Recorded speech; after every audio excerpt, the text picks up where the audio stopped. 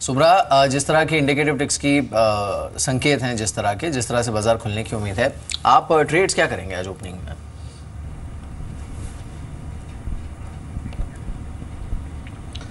Mir I think मैं कल के जो भी डेरिवेटिव uh, आंकड़े संकेत मिल रहे हैं उससे चलूँगा और मेरा मानना है कि शायद यहाँ पर एक सेल कॉल है अरविंद मिल अगर आप कल कल, कल के क्षेत्र में देखें तो आई थिंक ऑलमोस्ट छः सात प्रतिशत की ओपन इंटरेस्ट बढ़त देखी है।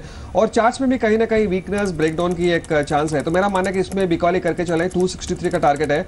और दूसरा एक बाई कॉल हिंडाल को आई थिंक कल कल के क्षेत्र में अच्छी खासी हमने बढ़त देखी है और ओपन इंटरेस्ट में भी हमने बढ़त देखी है और एक ब्रेकआउट के आसपास है। हो सकता है आज थोड़ी बहुत नरमी से खुले, लेकिन मेरा मानना है कि एक मॉडेस्ट टारगेट 93 तक एक आई थिंक जा सकती है। और तीसरा नॉन एफएनओ का एक Fortis health care I think weekly chart पे बहुत ही बुलिश है। Inverted head and shoulder pattern देखने को मिल रहा है। और आज अभी अभी अभी आप बता रहे थे, यहाँ पर एक री रेटिंग भी आ रही है। तो मेरा मानना है कि शायद ये कहीं ना कहीं एक बहुत ज़बरदस्त ब्रेकआउट की तैयारी पे है।